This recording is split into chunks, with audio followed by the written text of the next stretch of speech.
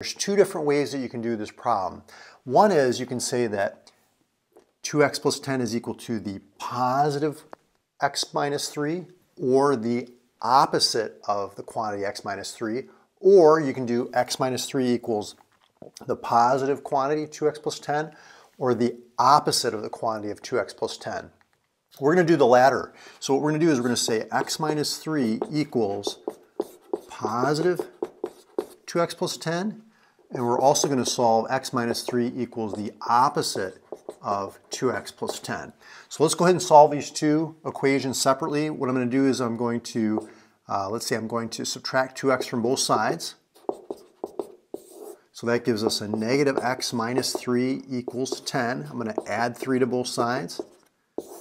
So we get negative x equals 13, and if I multiply both sides by negative 1, you can see that x is equal to negative 13.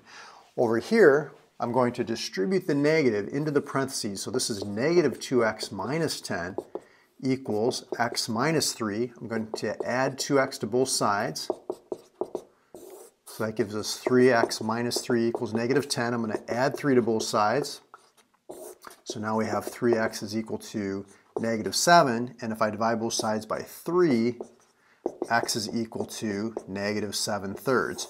So those are our two solutions, negative 7 thirds or negative 13. You can check your answer by putting them in uh, both sides of the equation there, make sure that, uh, that the two sides are equal, and you got it. So two different methods for solving absolute value uh, equations involving two absolute values. If you want to review how to solve absolute value equations just in, using one absolute value, check out the video that I did right there, and I'll see you over in that video. I'll talk to you soon.